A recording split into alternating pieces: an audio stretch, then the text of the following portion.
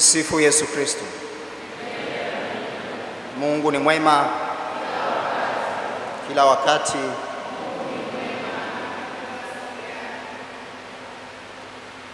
Basi ndugu zangu, leo tukiwa katika Jumapili ya tano ya Kwaresma,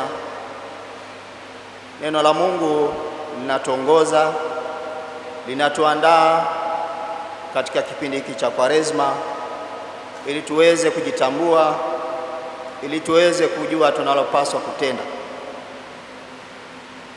Katika somo la kwanza, Waisraeli ambao walikuwa katika utumwa wa Babiloni, Nabii Isaya anawapelekea ujumbe, ujumbe ambao unawataka wasiyakumbuke mambo ya kwanza wala wasiyatafakari mambo ya zamani. Mungu ambaye aliahidi kuwatoa katika utumwa huo, anapowatumia nabii na ujumbe huu wa nabii unapowafikia, unawataka watambue kwamba kama vile ambavyo Mungu aliwatoa Waisraeli kule Misri, akawapitisha kwenye bahari ya Shamu na akawapitisha katika jangwa, akawalisha katika jangwa hilo vivyo hivyo ndiye atakayewaongoza kutoka katika utumwa huo. Hivyo wasiwaze, wasifikiri hali yao hiyo ya kuwa katika utumwa huo, bali waweze kuwaza jinsi Mungu atakavyowaokoa. Na ndiyo maana anawaambia kwamba nitafanya njia hata jangwani na mito ya maji nyikani, kwa sababu wao wanapodhani kwamba ni vigumu kutoka katika utumwa huo, lakini kwa Mungu yote yanawezekana. Na hivyo hata pale ambapo hakuna maji, pale ambapo watu wanadhani ni nyika, pale ambapo hapawezekani kitu, lakini Mungu anawaambia kwamba mimi nitafanya, na hata jangwani nitapitisha na mtaona mito ya maji. Hivyo ndivyo ambavyo Waisraeli walipaswa kutambua hivyo kwamba wasiendelee kuyafikiria hayo ya kale, wasifikirie hayo ya zamani, bali waweze kutambua kwamba Mungu atawatoa katika utumwa huo wa Babiloni. Na hivyo katika somo la pili, Mtume Paulo ambaye hapo kale alikuwa akilitesa kanisa, yeye ambaye alidhani kwamba kule kushika dini ya Kiyahudi kungeweza kumwokoa, lakini baadaye alipoongoka, alipoitambua alipotambua wito wa Kristo na alipoifuata sauti ya Kristo, aliona kwamba haya aliyoyapokea ndio mambo ambayo anapaswa kuyafuata na sio yale ya kale. Na hivyo yale ya kale yeye anaona kama ni mshenzi, kama ni mavi na kadhalika, kwamba hakuwa tena anafikiri yale ya kale kwamba ilikuwa mambo ya maana kwake, lakini anadhani kwamba imani aliyopokea katika Kristo ndiyo imani sahihi na hivyo ndiyo anayoshikamana nayo. Na hivyo Paulo tangu alipoongoka, bidii yake kubwa ilikuwa katika kutangaza Kristo, katika kutangaza imani hiyo aliyoipokea, na hakuwahi kurudi nyuma, hakuwahi kutetereka. Na hivyo kila mara alipoweza kuyalinganisha maisha yake ya kale, maisha yake kabla hajampokea Kristo, maisha yake kabla hajamtambua Kristo, anaona kwamba yale maisha yalikuwa ya hovyo, yale maisha yalikuwa hayamfai kitu na hivyo akabaki anashikamana na yale ambayo yameyapokea, lakini bado vile vile anajua kwamba analo jukumu, anaendelea kusafiri, kwamba hajafika mwisho. Anatambua kwamba siku zote anapaswa kudumu katika njia hiyo na wala asione kwamba amefika. Na hivyo hata sisi tuliopokea imani ya Kristo tunapaswa kuyaona yale ya kale, yale tuliyoyaacha kwamba ni mambo ya hovyo, mambo yasiyofaa, lakini imani hii tunayoishikilia basi tunapaswa kuishikilia hadi mwisho. Tunapaswa kuendelea kudumu nayo na tunapaswa kuyachuchumulia hayo yaliyo mbele yetu. Katika Injili, Bwana wetu Yesu Kristo alipokuwa hekaluni, na kama kawaida yake alikuwa akiwafundisha watu. Sasa katika hali hiyo, akiwa anawafundisha watu, analetewa mwanamke mmoja aliyekamatwa katika uzinzi na tendo hilo la kukamatwa katika uzinzi kwa sheria ya Musa alipaswa kuadhibiwa, Hivyo kwa sheria hiyo wao walijua kwamba alipaswa kuadhibiwa, na hivyo hawakutekeleza au hilo ambalo waliagizwa na sheria, lakini wakampelekea Yesu. Tunaweza kujiuliza kama walijua kwamba sheria ya Musa inasema hivi na hivi, walienda kumuuliza Yesu kwa ajili ya nini? Maanake walivyomfikisha ma, mama huyu kwa Yesu, wanamwambia kwamba sheria ya Musa inasema hivi na hivi, na huyu tumemkamata katika uzinzi, anapaswa kutupiwa mawe, anapaswa kupigwa mawe. Lakini wao wanamuuliza Yesu sasa, na hivyo ndio maana katika injili hiyo tunaambiwa kwamba walimpeleka kwa Yesu ili waweze kumjaribu, waweze kumjaribu kwamba ataamua vipi, kwamba atupiwe mawe au aachwe. Na hivyo mtego wao ulikuwa kwamba kama atasema aachwe, basi maana yake hafuati sheria ya Musa, lakini kama atasema atupiwe mawe, walijua kwamba Yesu ndiye anayehubiri huruma ya Mungu, yeye ndiye nabii anayehubiri huruma ya Mungu. Iweje sasa hana huruma na anahukumu kwamba huyu atupiwe mawe? Lakini vile vile wanajua kwamba sheria ya Kirumi, Warumi waliokuwa wakitawala Israeli wakati huo, walikuwa anajua kwamba mtu binafsi hakuwa ana ruhusa ya kumhukumu mtu kwa kumpigia mawe au kutoa adhabu ya namna hiyo. Kwa hivyo kwa vingine, kwa namna nyingine tungeweza kusema kwamba angekuwa amevunja sheria ya nchi. Sasa hii Yesu anapoletewa huyu mwanamke, analetewa, anaelezwa aliyoyatenda na hukumu ambayo anapaswa kuhukumiwa, lakini lengo la hao lilikuwa kumjaribu.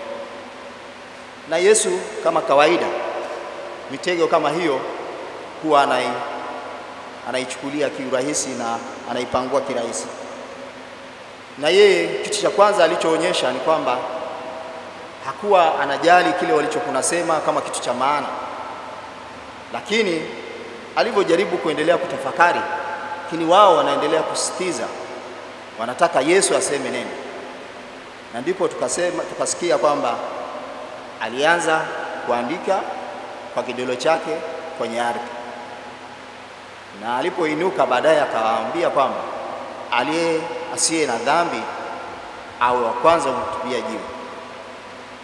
Lakini waliposikia neno hilo, kasikia hakuna aliyebaki pale, walianza wazee hata wa mwisho wao, na akabaki Yesu peke yake na yule mwanamke amesimama katikati. Na mwisho Yesu alipomuuliza huyu mwanamke, hakuna aliyekuhukumu, aliyekutia hatiani? Mama yule akasema hapana na ndipo Yesu akamwambia, wala mimi sikuhukumu, enenda zako, wala usitende dhambi tena. Na hivyo Yesu pamoja na kuto kumhukumu huyo mwanamke, haimaanishi kwamba mwanamke huyo hakuwa mtenda dhambi. Kama angekuwa si mtenda dhambi, asingemwambia enenda zako, wala usitende dhambi tena. Lakini Yesu alichokifanya ni jinsi ambavyo wale watu waliokuwa wa kwanza kutaka kumhukumu bila kujifikiria wao wenyewe kama wao si wakosefu. Na hivyo ndio maana katika maisha yetu mara nyingi tunapowahukumu watu, tunapozungumza juu ya watu, tunapaswa kujitazama kama yale tunayoyasema kuhusu watu kama si yale ambayo na sisi tunayatenda na hivyo Yesu anapompa huyu mwanamke nafasi ya kuanza upya, kujirekebisha, kutubu, kuacha kutenda dhambi, ndiyo fursa tunayopewa siku zote katika maisha yetu, na katika kipindi hiki cha Kwaresma ndicho tunachokumbushwa.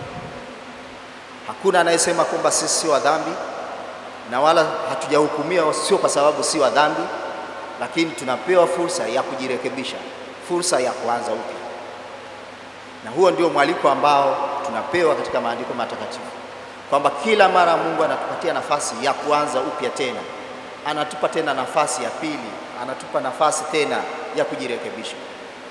Waisraeli walipewa nafasi hiyo kila mara walipokuwa wakosefu, walipomtendea, walipotenda dhambi, wamepelekwa utumwani, lakini wanaokolewa. Ndivyo ambavyo Mungu alikuwa akiwatendea na hivyo ndivyo ambavyo na sisi tunatendewa. Lakini jambo la pili, vile vile tusiwe wepesi kuwahukumu watu wengine. Ni rahisi sana kujua hukumu iliyo ya haki, kujua mtu huyu anastahili kuhukumiwa nini. Lakini pale linapokuja kwako, haupasi hau, haufikiri kwamba ndivyo ambavyo na wewe unapenda, unapenda utendewe. Pengine unaweza kujitetea, nilisema hivi, nilifanya hivi kwa sababu hii na hii, vyovyote vile, lakini unastahili hukumu. Sasa unapomhukumu mwingine, basi wewe wa kwanza kujiuliza katika dhamiri yako kwamba kama na wewe si mkosefu kama huyo. Na hivyo ndio maana Yesu alipowauliza wale wazee, kama kuna mmoja kati yenu ambaye si mkosefu, si mtenda dhambi, basi awe wa kwanza kurusha jiwe, na wale wengine ndipo wafuate. Basi kumbe, ina maana hakuwepo mzee hata mmoja kati yao ambaye hakuwa mtenda dhambi. Ndio maana akaondoka wa kwanza, wa pili, kwamba kila mtu akajiona, alipotazama dhamiri yake, hakuna mtu ambaye si mkosefu, wakaondoka wote. Na pengine sisi leo tunajua wengi wetu kati yetu nani mkosefu, nani anafanya nini, lakini tukianza kuulizana nani wa kwanza kumhukumu huyu, inawezekana kila mtu akatoka akaondoka akamwacha yule peke yake, kwa sababu kila mmoja akijichunguza anaweza akajiona kwamba ni mdhambi kuliko huyu ambaye anastahili kuhukumiwa. Lakini jambo la tatu, wakati mwingine tunapenda sana kutangaza sifa mbaya ya watu, makosa ya watu, dhambi za watu. Pengine tunafanya hivyo tukidhani kwamba kwa kuwataja na kuwaeleza na kueleza sifa mbaya au dhambi za wengine, sisi tunakuwa watakatifu. Sivyo.